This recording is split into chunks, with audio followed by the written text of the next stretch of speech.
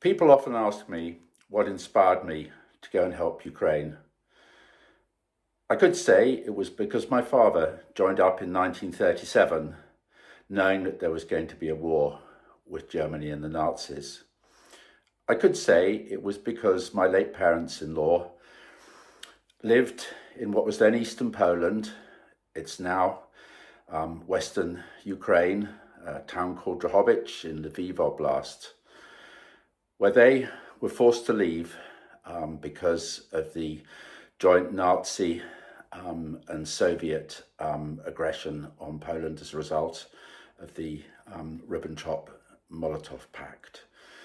And I could say it's because I was very moved by the um, war in Bosnia, um, the Serbian aggression in the war from 19 92 to 1995 when I was working for a company which was sending out aid convoys and where drivers of those aid convoys um, were, were sadly killed.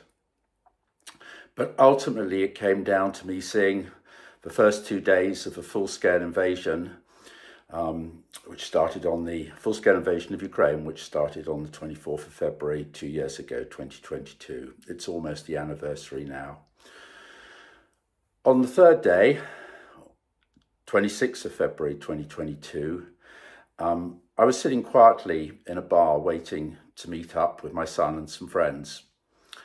And I had time to catch up on my phone with all the news.